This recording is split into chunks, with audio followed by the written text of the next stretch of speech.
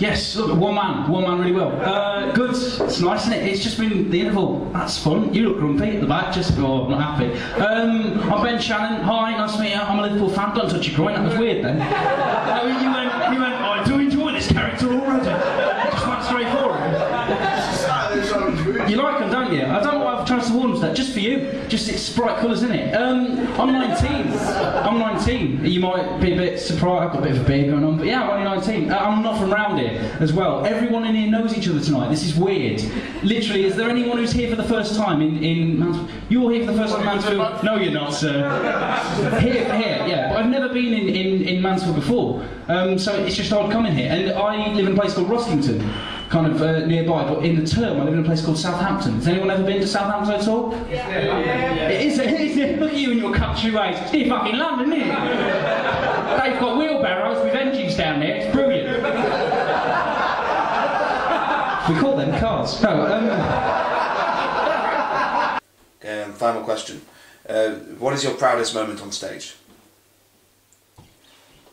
Proudest moment on stage. Oh, see the problem is my gigs blur when I come off the stage. Um, oh, I think my proudest moment on stage was when I made. Um, no, no, that wasn't it. I think one of my proudest moments was when it's just when the audience gets involved, like they get behind you, and I suppose the best example of that is like my first ever gig, like.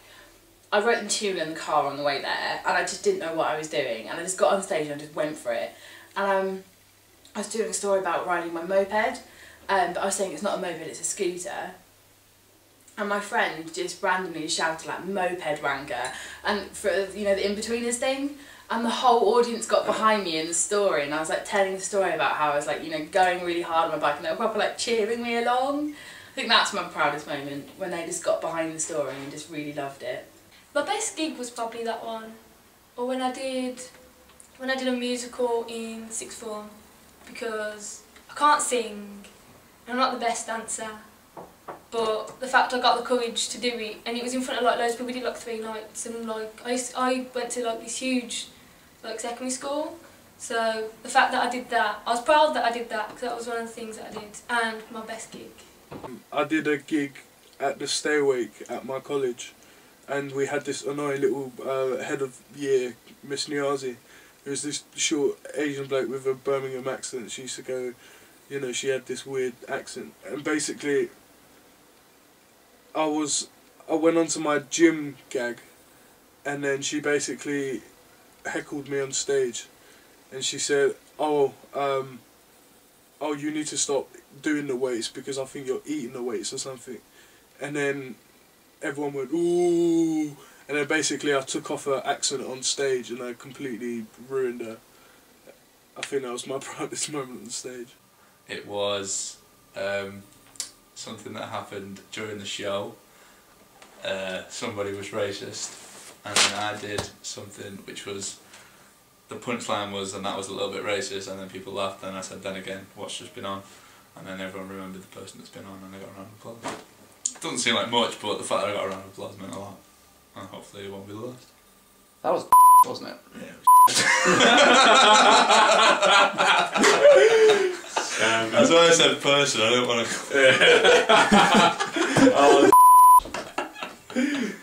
to...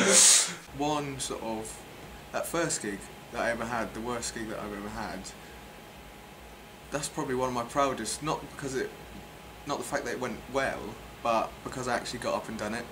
I was so terrified of doing it, and I so could have easily just ran out of there, you know, quit the course and not done it.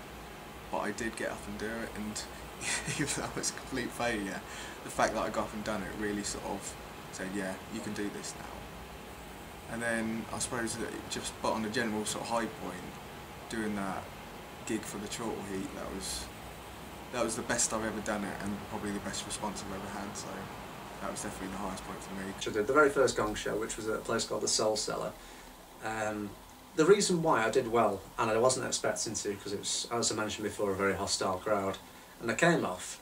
Uh, well, I didn't even come off. I was the last act on, So I stayed on um, the stage and all the other acts come on, and then it was a clap off, and then somebody else won it. But I, I didn't care because I'd, I'd achieved what I set out to achieve. And then the next time I went into uh, the Hobbit, which is uh, a pub that we drink in, just in case people don't know.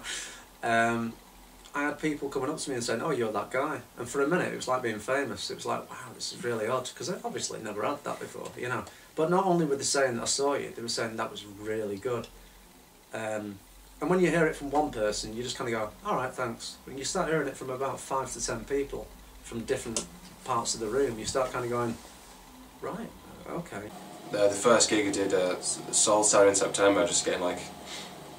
Uh, even then, I, I started off like really shouty uh, compared to what I am now. It's just, just knowing that I could get up there and do it, and just the absolute uh, uh, thrill and just exhilaration that you get from doing it when you get like, like an applause break or something like that, and just sort of blows your mind at how good, what a good feeling it is to be on stage and. We were doing a play called Five Kinds of Silence, and even though I wasn't a main character, I sort of had to do like supporting roles and stuff like that. And um, I had to. The main character is a character called Billy, who was abused as a child, and I had to, uh, during a flashback sequence that he has, I had to play his dad. Um, and during that, I had to get out of my comfort zone and be sort of quite vicious um, towards him and literally sort of shout in this guy's ear. Uh, it's being very sort of domineering. It was very, and that was that was good for me because I had people come up to me after and said, well, "I've never seen you sort of like that before." I once pulled a muscle in my own arm trying to moisturise my face. now, moisturising is considered uh, weak and immoral as it is, but imagine physically injuring yourself with a quest for smooth skin. You know, I can't even lick the lid of life without getting yogurt on my chin. You know, but I can't even do cool. I can't even do things that seem cool, but aren't. For example, look like I had a wild night when I turned up to football training with carpet burns on my knees. What was you up to last night, Baxter? I was running around on my knees pretending to be a dwarf to scare my dad. and it worked. You know, so what I do as a kid to try and up my coolness, I decided to do karate, or karate to the martial artists in the room. Now, the, the reasoning behind that is I thought, if I'm not cool enough to pull the bitches, I can twat the people who are cool enough to pull the bitches. But as it turns out, you need more than two classes to do that. Um, as I found out, you can't do much ass kicking with a white belt. In fairness, though, you know, I did, I would, did go to two rather than one. If I only went to one, I would literally only know how to bow at an oncoming attacker. Give us your wallet, mate. Okay, take it one. Bit racist, but then again, what's just been on? I think any time that people laugh is like a little proud, proud moment. Um, so I haven't really done anything that spectacular yet. I'm always quite meticulous with my set, so I don't really do any improv. Um, but yeah, I think any time that a joke goes down well, I think that's a tiny little proud moment. I opened for Tony Law once. Um, not like on a tour or anything, but in a club. I was the one that opened for him. And it was just me and him in the last section. And um, I came off, and the MC, it's called Sean McLaughlin, and he's doing alright for himself. He's not famous, but he's, he's doing alright for himself. He said, Oh, yeah, that was really good. I liked that guy. And then uh, when I came off, Tony Law just sort of shook my hand and went like, "Oh, that was, re- that was really good," and uh, in his Canadian voice with his beard and stuff. And um, I've since realised, telling people that I opened for Tony Law, that he's not actually as famous as I thought he was. But he's a, he's a man that I've always thought was hilarious, and um, I think that was my proudest moment because I really slapped the arse of that gig. That went really well, and to have done it in front of someone that I really admire comedy wise, and for him to acknowledge that uh, you know I did well. went on stage and I cut my set halfway through and I said, hang on a minute, this is what I want to say. And I went on one about how I was better in bed and he was a complete tool and things like that. And I felt like I got everything off my chest about how much of a complete and utter prick he was. And everyone sort of, I, I was scared that people were going to be like, oh, this isn't funny, this is him just venting. So when everyone sort of cheered and clapped and laughed, that was like, I knew that he was going to watch that, which he did eventually. I was told that he did watch that, and apparently he didn't find it very impressive. But everyone in that room was laughing at one person who I consider to be a complete and utter bully. And I think any bully should have that time where they are laughed at for the lack of person that they are.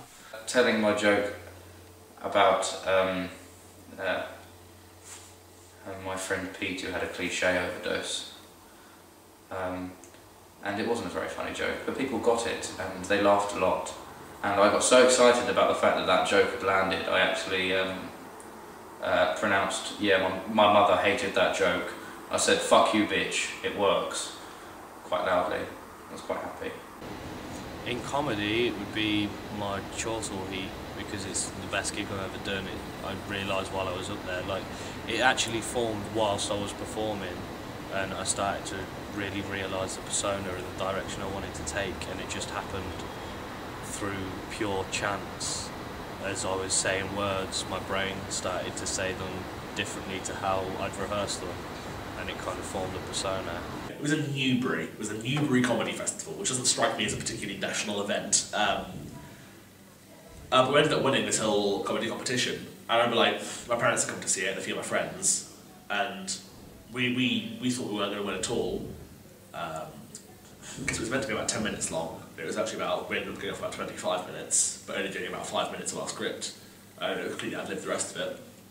And we won. Um, in front of a, it was the biggest audience I've performed in front of, it was about 500 people. That was my proudest moment. When they read out the envelope, the winner is Jacob Guberg and Alexander Quayle. But, um, complete dickheads about it as well, because um, I, I, when he pulled the thing out of the envelope to read it, I could see over his shoulder, so it wasn't actually a surprise to me as it was. Honestly, everyone was like, yeah, we won, act cool. And so we went up there, like, Jacob Guberg and Alexander Quayle. Up we stormed, like, yeah, no big deal. Yeah, give that getting through that gong show when I was wankered, like actually getting to the end of it, I was like, no way. Because I had nothing, I had no material. I just got drunk and made a bet that I'll do it, and then I did. And I actually got through. I was like, wow, maybe I can wing things a lot better than I thought. So yeah, that was a proud moment. Worst gig, but proud moment. My favourite story I do is my duck story. So, um, in fact, I've done that three times now and it's worked three times. Um, and it's one of the funniest and craziest moments of my life. And that's, that leads back to doing, I like, I'm better when I, it's real, if you know what I mean. Because that really what did happen. And it really was one of the most craziest, uh, I can convert it and it's, and I've, yeah, so that's probably the proudest, the duck story. 'Cause I love them ducks now. I read an article in the climate change, uh, in the Guardian recently that climate change in five years' time will be totally irreversible. I thought that's awful. I thought I really need to get that some more press coverage. So I decided to get the concept of climate change to have a very secret, long-winded yet obvious affair with Ryan Giggs. Should have done that joke a year ago when it was topical. Speaking of wankers, um, I used to see this thing in the news with John Terry. Uh, apparently, John Terry, uh, as I mean, I don't really follow football that much, but John Terry has been accused of calling Anton Ferdinand a black cunt. Now, whatever you think of John Terry, like people make mistakes, and it's quite obvious that the biggest mistake made by anybody was why uh, by Anton Ferdinand for not smashing his stupid face into the floor. and I read an article as well in the Guardian, the same same paper, that uh, Jesus, when he was younger, tried to organise a five-a-side football team. This is definitely true. And there was this little Roman guy who wanted to play, and he was like, "Oh, Jesus, can I play?" Oh, no, no. Um, and Jesus wouldn't let him play. But I mean, whatever you think of Jesus, everybody makes mistakes. But I think the biggest mistake made by anybody was by the little Roman kid for not smashing his stupid face into the floor. I should have done that joke two thousand years ago when I was.